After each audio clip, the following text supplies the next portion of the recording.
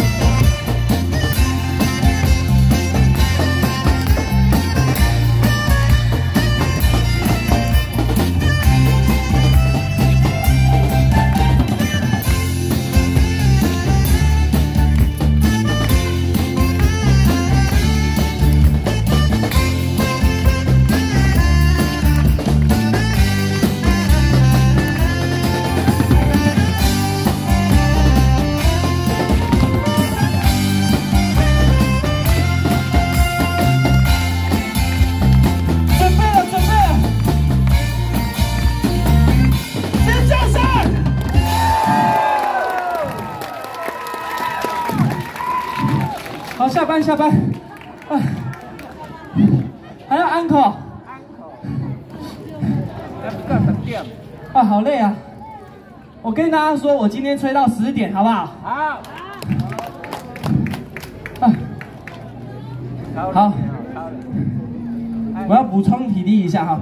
接下来我跟大家说，我来唱一首歌给大家，好不好？这样太累了，我吹这个太累了啊！我唱一首歌给你们，我唱这个我的偶像哈，周杰伦，周杰伦老师的歌曲哈。那这首歌呢，我也让大家呢可以给我鼓励一下哈，我在这边做公益的表演哈，也需要大家的鼓励哈。那如果你们有呃这个想要鼓励我，就大家随意就好哈。我每个礼拜六都在这边。